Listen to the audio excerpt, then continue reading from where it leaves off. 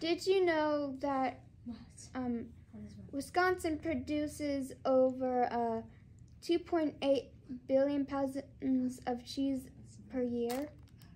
Speaking of milking cows, 90 percent of Wisconsin milk is made made into cheese. Wisconsin is known as Mariah contributed the state is the number one producer of cheese in the United States.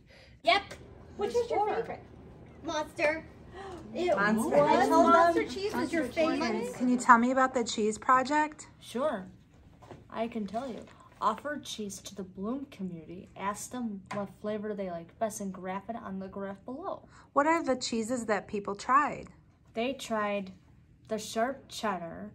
They tried Havarti with dill. Okay. They tried the mozzarella. Uh-huh. They tried the Munster cheese. Which cheese was the most liked? Um, the sharp, uh, the Havarti with dill. Okay.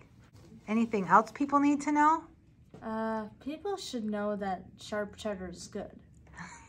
Yeah, that was the second choice. Is that your favorite? Yep. Sounds good. Go Wisconsin. Yeah, go Wisconsin.